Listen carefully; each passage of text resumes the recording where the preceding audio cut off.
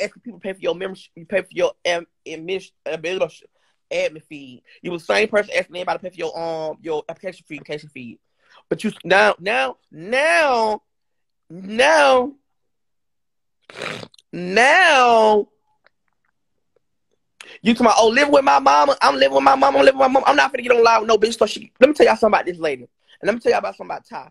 What Ty would do is, after I said right here, after some days ago, I just sat right here and told y'all that I, don't, I ain't even gonna keep arguing with him. And I know I told y'all that. But remind you, I have not said nothing about a person since that day when Angel didn't sit on my live and we was talking about the situation. I let it go. I have not said nothing about a person. Today, I'm at the fucking studio with my cousin while he in there rapping. People sending me DM like, what's going on? Why y'all sending me DM? And if y'all think I'm lying, I can show y'all the DMs. People were sending me DMs. All I hear this person talking about me. Talking about my son. I have not said anything about a person. I have not spoke on a person. But every time y'all, and it's like every time I speak on something, y'all try to make it seem like I'm speaking on this person first. I wasn't even studying this person. This person was not on my mind. This person got on live speaking about me.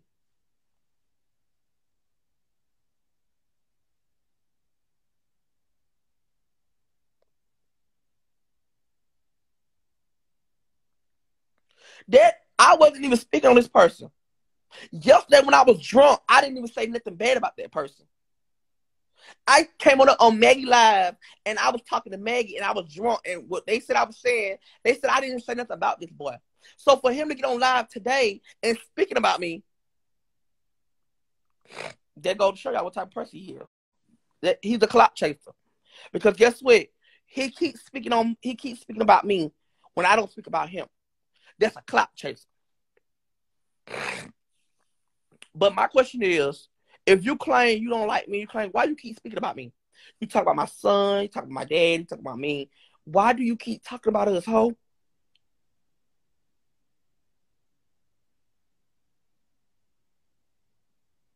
Can y'all hear me?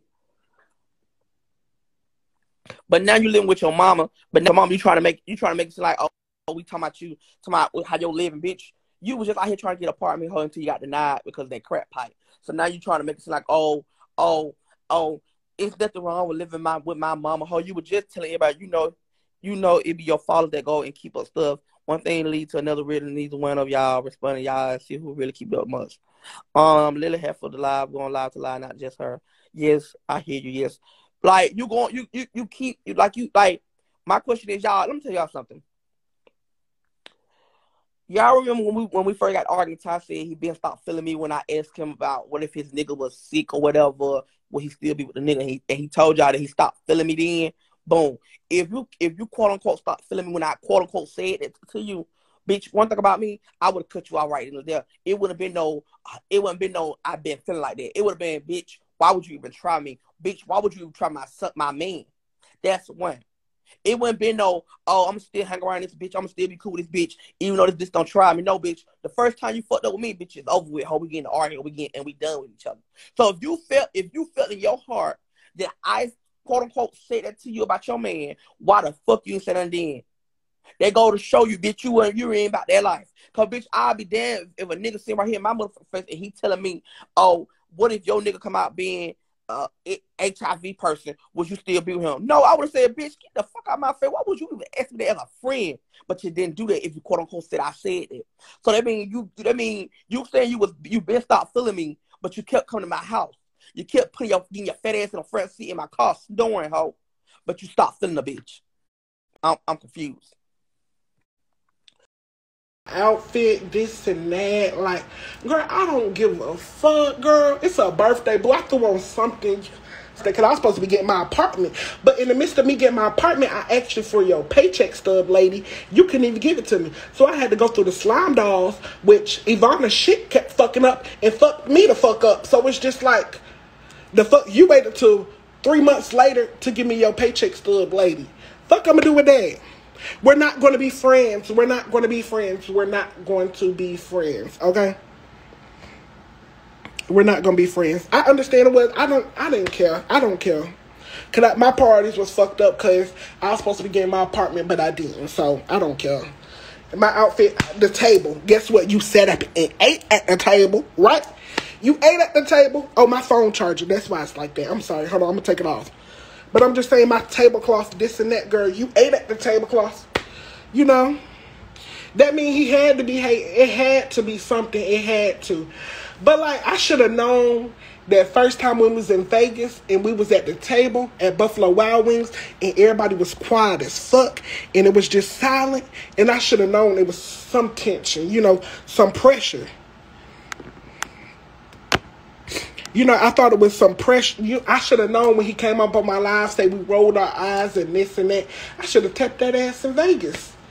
That would have been a good trip. Cause I would have tapped that ass in Vegas and we would have been right then and there. We wouldn't have no ends buts about it. Cause you got a car you could have pulled up eh, and, and when we back in Atlanta. But no, it's just you know I should have been tapped that ass.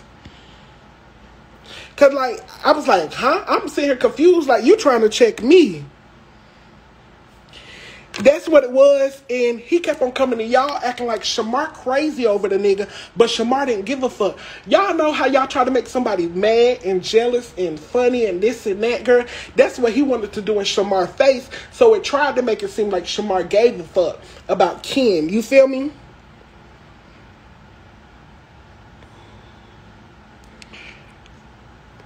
You remember? So it that's what it was. He wanted Shamar to react and give a fuck and this and that. Mm-mm.